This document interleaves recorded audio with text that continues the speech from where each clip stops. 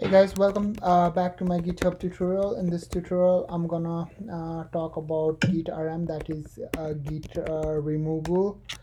Uh, and for that, I do have two files here, and uh, let me delete this file first and see what will happen. So, Git status. That means we just deleted the file. Now we need to push this information to the staging area so which is a kind of headache right? So let me uh, show you how we can do that thing directly. For now let me add this information to the staging area. Skip dot py.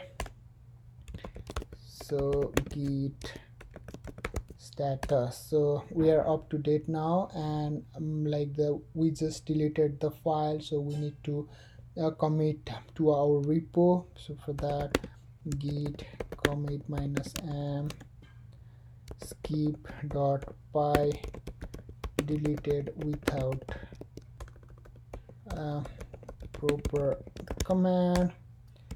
So git status. Now everything is up to date. Instead of deleting file from here uh, like what we can do directly is that we can uh, use git rm commit.py so this file is delete from here and from my uh, local repo. So what I can do right now is uh, I can uh, commit directly. Git commit minus m. File delete with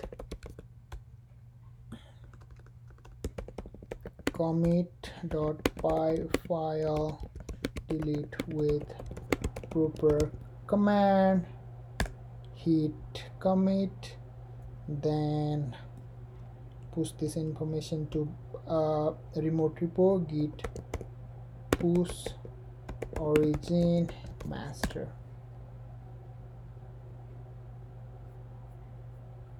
So let's check here. Yeah. So uh, we do have those information here. Guys if you want to know more about github commands follow my next tutorial. Thank you